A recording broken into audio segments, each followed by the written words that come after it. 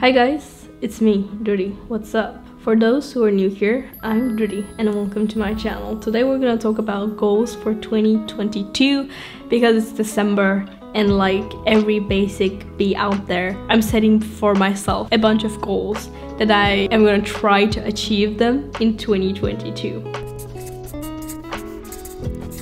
So firstly, when talking about goals, I think we should firstly talk about how I set my goals for 2022 because there is a major difference between how I set my goals when you compare to the beginning of the year and now. How I changed. When it comes to goals, there are two types of goals. One is output-based goals and the other one is input-based goals. What are they? Output-based goals, let's say you want to lose weight, right? Output based goal is gonna be losing 10 kilos, 20 kilos, or 20 pounds, 30 pounds, whatever. So you're focusing on the outcome. And the input based goal is gonna be you wanna lose weight, then you focus on the input. So the work that you're gonna do in order to achieve that goal. So working out regularly, eating healthy, getting your sleep maybe, or reducing stress and doing all of these things. So you're focusing what you're gonna do in order to achieve that goal. That's gonna be an input-based goal. When it comes to the way that I used to set my goals is that I was focusing too much on output rather than input. So I was saying that I want to achieve this, this, this in this, this amount of day, but I wasn't really focusing how I'm gonna do that. I wasn't really focusing on the system. I was only focusing the results that I cannot really control. So for example, creating a YouTube channel, you say, in three months, I want to hit 100k. But you cannot really control the subscriber amount because it's really up to, you know, people. But when you think about in an input-based way, you say, what can I do in order to make people subscribe to my channel?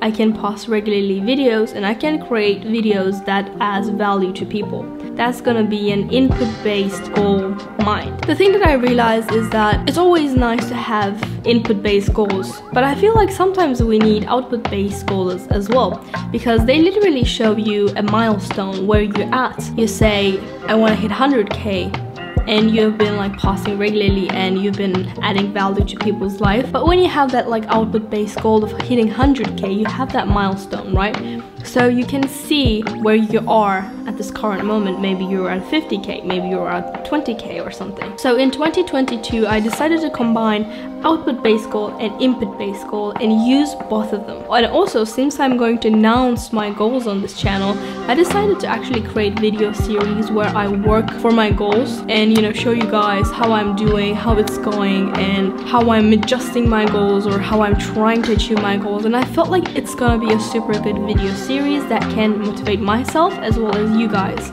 so that we won't feel alone and we can, you know, motivate ourselves and become each other's accountability buddies. I feel like on this channel, one of the things that I really like the most is that this channel really motivates me and keep me on going as well as it does for you as I read from the comment section.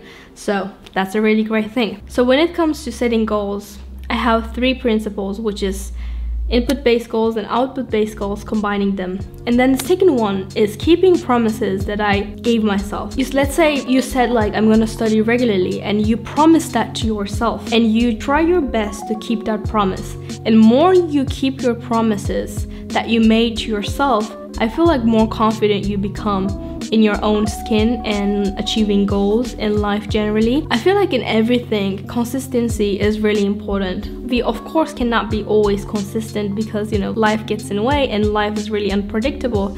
But more we practice the thing, more we become comfortable at that.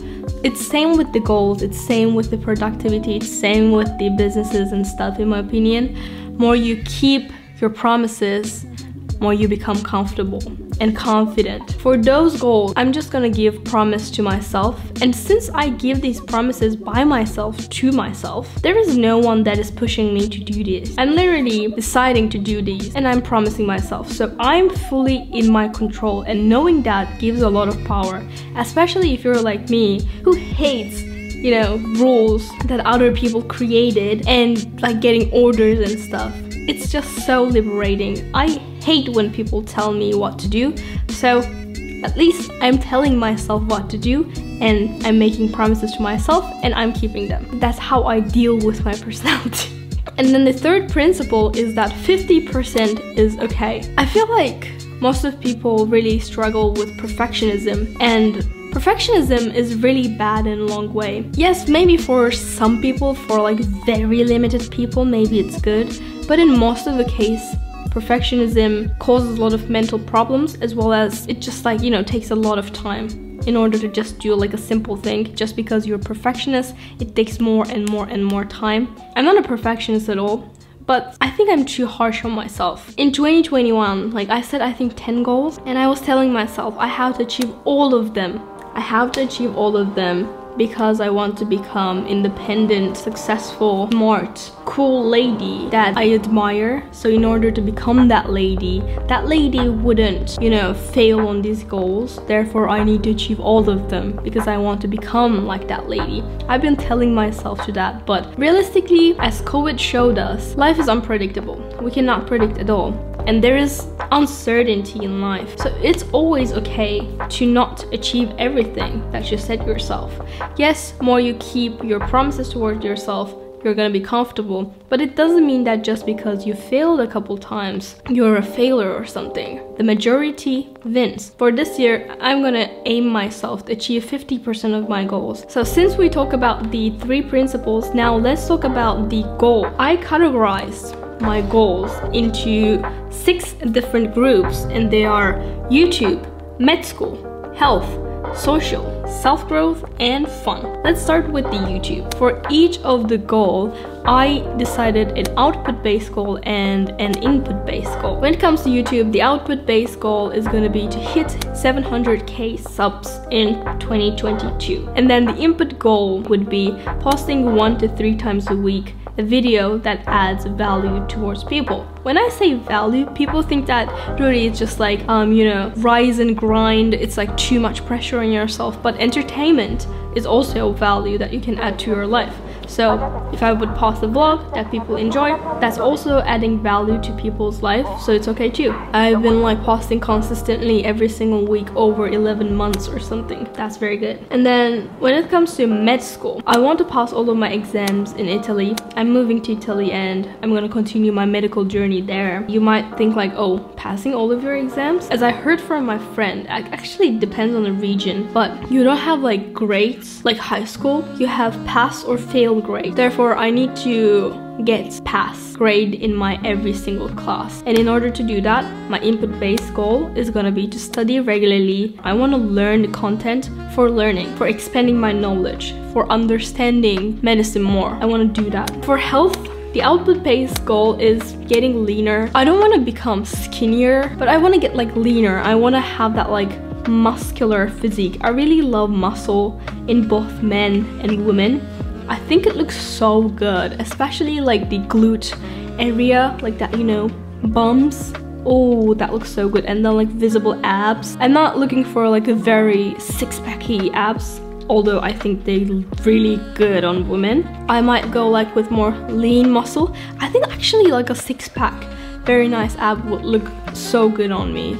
I actually admire that quite a lot, but that's just like a too harsh goal for me. So I would like to say a lean physique, like tiny waist, and then like nice bumps and like nicely toned legs and arms and back. That looks so good on women. I like women who train regularly. Therefore, I'm gonna become the woman that I admire. And in order to do that, the input-based goal is gonna be eat healthy and exercise regularly. I feel like since I started living alone, I've been eating deliveries every single day. I haven't been working out regularly for two years. My body is so jiggly, fatty, you can't feel that muscle. so I want to change that. Okay, when it comes to social goals, actually this one is like ah really fun and really nice. I want to visit my dear friends Matt and Easy. Matt lives in the US and Easy currently lives in the UK. I want to visit them and we are planning to do a hype trio tour. So they're gonna visit me in Rome, I'm gonna visit them in the UK and in the US. It's gonna be so fun. We named our group Hype Trio. We are planning to release a podcast. I hope you guys will enjoy. like for this, the input based goal is gonna be saving money, obviously, saving money and adjusting my schedule according to those. And the second social goal is gonna be attend to a lot of parties. Even though a lot of people think that I'm really introvert, I really like parties. I like parties so much. And I heard that in my Italian med school, there are a lot of like parties that my school does as well as parties that student does. And I want to attend to a lot of parties as much as possible and meet new people. Since I'm gonna be in a different country, I'm so interested in other people. I want to learn a lot of things from them. I want to learn the language, I want to learn the culture, I want to learn new things. And I feel like the best way to do it and the casual way to do it to attend a lot of parties with my friends and have fun. I feel like guilt-free parties are the best.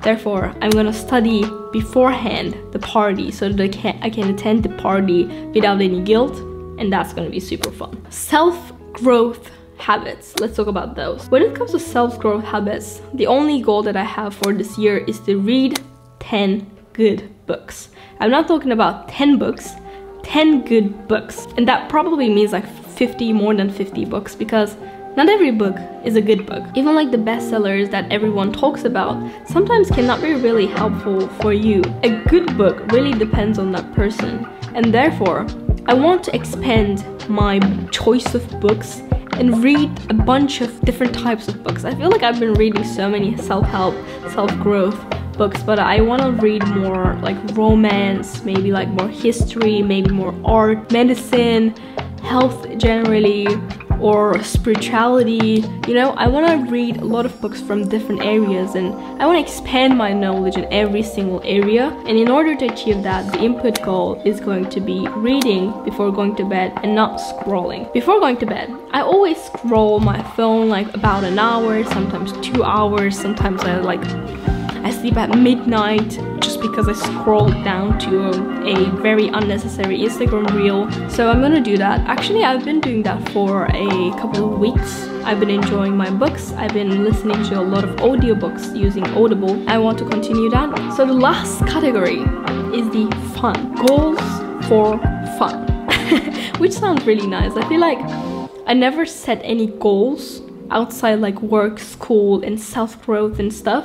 But this year, I want to be kind to myself because like, why not? So for fun, I picked output based goal as bring my mom to three different countries that are different than Italy, Japan, and Turkey. My mother loves traveling quite a lot. I like to travel with my mom quite a lot. I want to bring her to different countries. She she has been wanting to go to the UK and also we're planning to go to New York and maybe France or maybe Spain next year who knows? I want to bring her to different countries and of course i'm gonna pay for everything for her flight ticket for her hotel for the food and stuff. But in order to do that firstly i have to be really consistent on this channel so that i can afford that. And i'm gonna branch my youtube business to different areas like merch and online courses. So stay tuned for those too so the input based goal is going to be a be consistent on youtube and being consistent on my other projects that i'm currently working on. Other fun goal is to reach to an intermediate level on wine. If you drink wine or if you know a little bit about wine, you probably know that it requires a lot of knowledge when you want to get deep in that because there's so many wine types, there's so many grape types, there's so many stories, and there's so many information that you can learn. And my mother told me that I'm pretty sure that you're gonna enjoy it quite a lot because firstly, I like the taste. Secondly, I like learning about food. It's always nice to pair wine with a good food because it literally changes the taste. And I want to learn about wines more as well as hard liquors. I don't want to drink just for the sake of like getting drunk or something. I think it's just like for high schoolers, you know. I want to drink for communication between whoever I'm drinking with or if I'm drinking alone. I want to drink for the sake of drinking that drink and enjoying that drink, enjoying the moment, enjoying the environment. I want to like, you know, make some cocktails. I don't know, it's like so cool. I really want to say this next year. Do you wanna, do you wanna drink my cocktail? Oh, that's like so cool. I want to do that. I want to do that so much. And the input-based goal in order to achieve that is going to be enroll to an online course. My mom is currently doing a Vine online course and I might enroll to that. And for hard liquor, I find an online course and I'm gonna enroll to that and plan time for that and do those. I think it's gonna be really fun. Like imagine me doing a super cool cocktail. Oh, that's so cool. I like that. so yeah, these are my goals. I hope that I can achieve 50% of them. Don't be super harsh on yourself, just have fun. At the end of the day, if you're not gonna have fun in your life, what are we doing? I used to think like rise and grind, be the best and stuff, but now I'm like, chill girl, enjoy. See you guys.